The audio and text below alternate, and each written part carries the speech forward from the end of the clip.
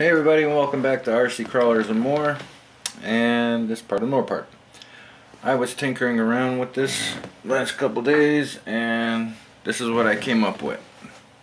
Um, for the ones that missed it, this is also you can use a PlayStation 4 or any kind of wireless controller that can go to an Android phone. Um, but I've also used my PlayStation 1 Classic controller with the extension for my Android phone. It's a C adapter. Alright, so what I have for you today is I'm going to show you what I done to it. It was all black the last time you guys seen it. The side that red is actually pinstripe that I actually used on a real vehicle. That's what I had left over on both sides. Um, yeah, a little retro down here, a little sticker. Uh, let's see. Plug this in here. There we go. And this light up here, I actually got it off of one of my old RCs. uh, so you're seeing it first uh, as I'm seeing it. Um, hopefully it's not too bright to where I can't see my screen. Uh, so, in the back, I have a three AA batteries. I have the other one here. I did not have a switch, so in order for me to turn it on and off, I just got to take one battery out. Uh-oh. Plug it in there. Turn is a little light bar. Kind of give it a little marquee look. Oh, let's see. Alright. And do uh Galaga? That is pretty cool. I mean, that's my Android phone. For the ones that missed the first video, click back and uh, go back and look at that video. Shows uh, everything about it, what I done to it. But uh, yeah, it's just it's so cool. I mean, I can take this anywhere I go and just have some gaming, just have some gaming fun. And uh, just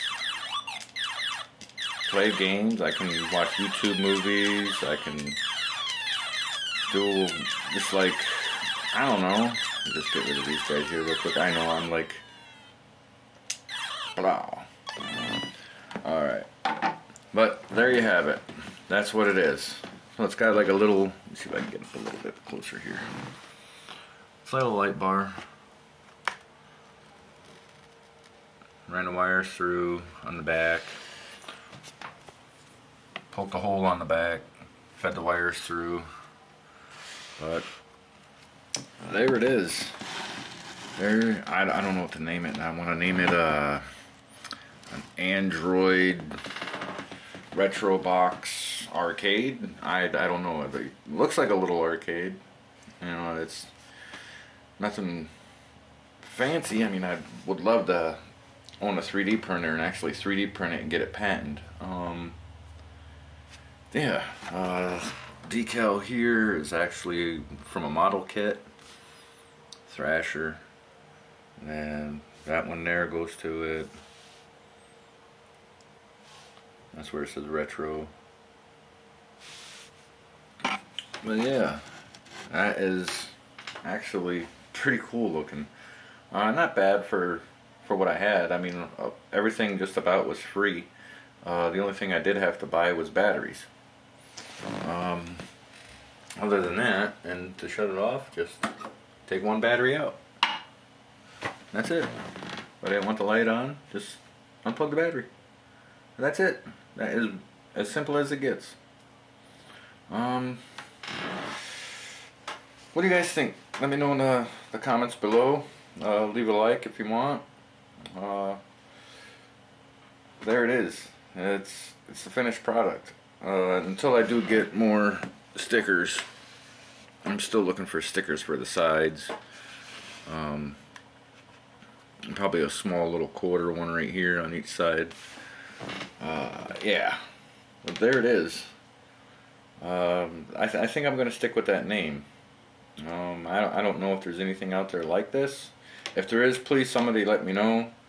Um, and I'm going to name it, as far as my knowledge, as an arcade uh, or Android retro arcade box that you can put your phone in and play games.